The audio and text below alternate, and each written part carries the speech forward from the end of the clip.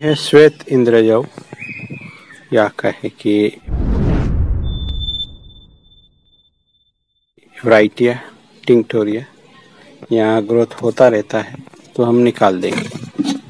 Growth ज़बरदस्त हुआ है। कुछ दिन पहले बारिश हुई थी तो इसने ग्रोथ पकड़ लिया है। अब ये ब्रांच अनमोन्टेड है, उसको मैं निकाल दूँगा। यहाँ भी एक ब्रांच को हो रही है स्ट्रेट उसको भी निकालना पड़ेगा। तो इस तरह दोस्तों प्लांट को क्लियर रखना है हमें। और इस तरह की ब्रांच होती है, वो सारा न्यूट्रिएंट सॉक ले जाती है। यहाँ भी देखिए, यहाँ अंदरूनी सी करवा से निकली है। तो इसी अनवांटेड ब्रांच ग्रो होती रहती है।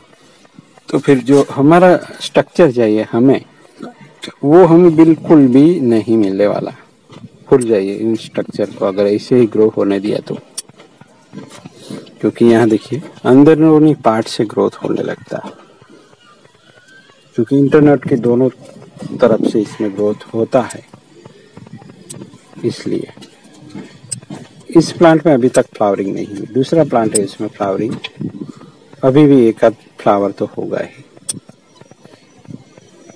इसमें अब तक नहीं हुई। तो यहाँ हम मल्टीप्लाई करने के लिए इस तरह ट्रिम भी कर रहे हैं। क्योंकि अभी ग्रोथ करेगा प्लांट मानसून भी ग्रोइंग सीज़न ही है दोस्तों। स्प्रिंग के बाद जो ग्रोथ हुआ था, उसमें ठहराव आया। फिर अब बारिश के पानी की वजह से अब ये फिर से ग्रोथ करना स्टार्ट कर देंगे दोस्तों। एक अलग सा स्टाइल दे रहे हैं हम इस प्लांट को। देख सकते हैं किस तरह का स्टाइल है।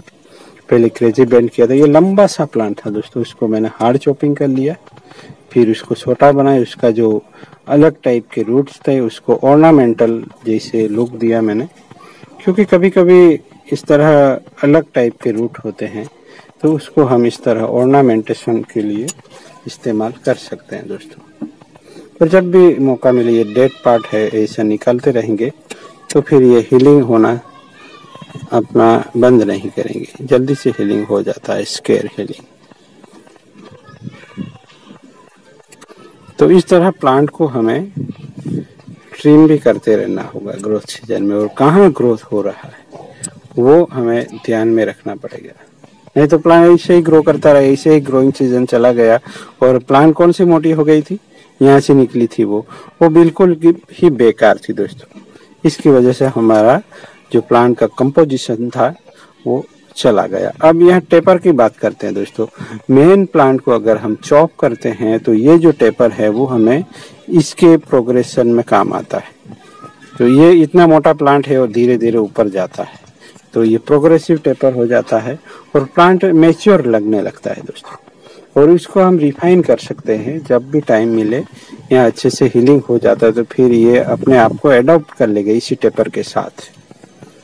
तो यही होता है। ट्रेनिंग का बेसिक हमें यही करना है। ये अगर अच्छे से मर्ज हुआ, उसको हम कर पाए तो फिर यही एक बड़े से पेड़ का शक्ल ले लेगा और वही कहलाएगा बोनसाई दोस्तों। इसे तो बोनसाई कहते हैं। नेचुरल ट्री की तरह दिखना चाहिए। इस तरह जब भी टाइम मिले तो इस तरह का डेड पार्ट ज़रूर हटा दीजिएगा। तभी यहाँ हीलिंग हो पाएगा। यहाँ जो बर्ड होल जैसा जो लुक मिलता है, वो इस तरह मटेरियल हटाने के बाद ही मिलता है। ये अच्छे से कट करते हैं और कट को रिफाइन करते हैं दोस्तों साफ़ कट नाइफ से। तभी इस तरह का मुमकिन हो सकता है हीलिंग यहाँ हमने ऐसा नहीं किया होगा, या डाइबेक किया है, इसलिए ऐसा हुआ है। नहीं तो अब तक यहाँ स्केयर हीलिंग हो जाना चाहिए था। तो मिलते हैं दोस्तों। इसे बने रहेगा। थैंक यू फॉर वॉचिंग और लाइक शेयर एंड सब्सक्राइब हो सके तो ज़रूर कीजिएगा, जिससे हमें नए नए वीडियो बनाने के लिए इंस्पिरेशन मिलती रहे।